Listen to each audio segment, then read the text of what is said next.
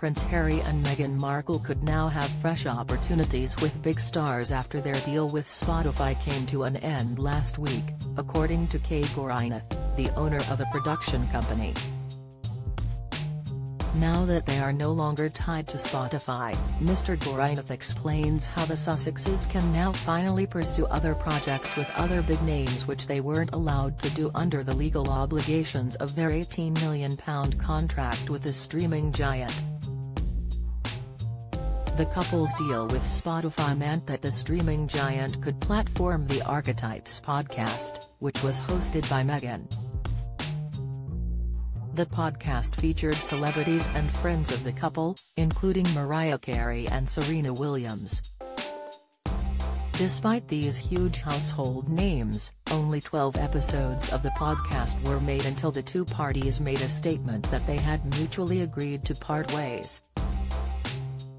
Since stepping back as senior royals, the couple have been involved with various other projects, such as launching their own organization for philanthropic endeavors, Archetype, where they've teamed up with the likes of World Central Kitchen to help with disaster-relied in countries such as Dominica and India.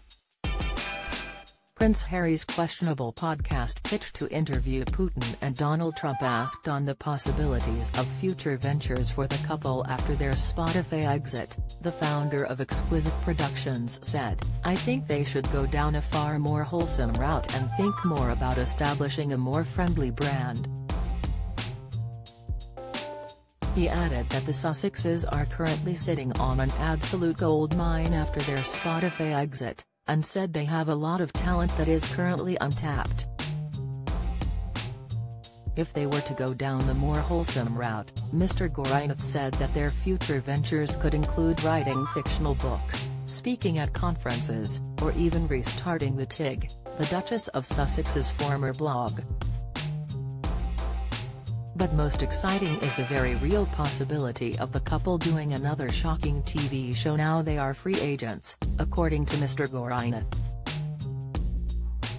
We could potentially see a follow-up series of their Netflix original six-part documentary series which explored the span of their relationship, ranging from the beginning of the couple's courtship, to the tension and controversies that caused them to feel forced to take a step back from the royal family. Don't miss. Harry suffering after leaving royal family behind, says Italian prince, latest, despite the fact it caused a huge uproar the last time around, it would certainly be a lucrative way for the couple to augment their ever-growing presence amongst the big stars in public life, the expert said.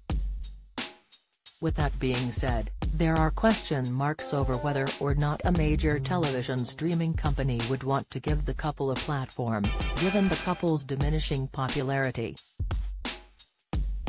A YouGov poll that came out on Thursday showed that Meghan's net favorability has plummeted to minus 47, which is the lowest it has been since the pollsters started recording her popularity ratings in 2017.